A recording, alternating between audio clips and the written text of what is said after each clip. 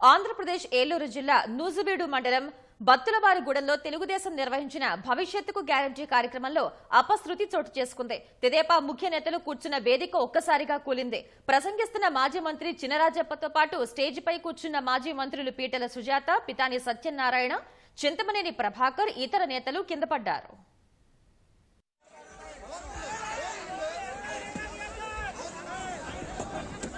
బాబు ఏడు పది గంటల మాత్రం కరెంటు బిల్లు గంటల మాత్రం నిత్యావసర ధరలు ఎగురుతున్నాయి కళ్ళ మాత్రం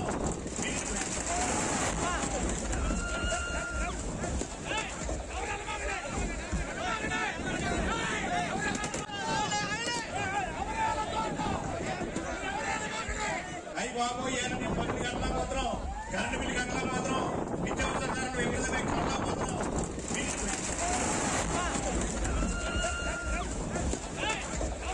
అయ్యి బాబు ఏడు పది గంటల మాత్రం కరెంటు బిల్లు గంటల మాత్రం నిత్యావసర ధరలు ఎగురుతున్నాయి కళ్ళ మాత్రం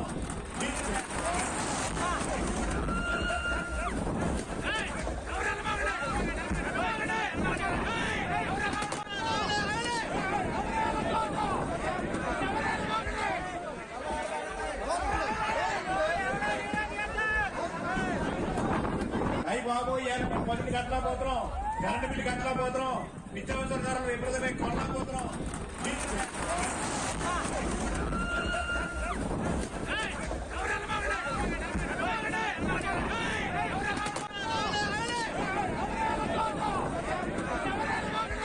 అయ్యి బాబు ఏడు పది కట్టలా మాత్రం కరెంటు బిల్లు కట్టలా పోతున్నాం. నిత్యావసర ధరలు ఎగురుతున్నాయి కళ్ళ పోతున్నాం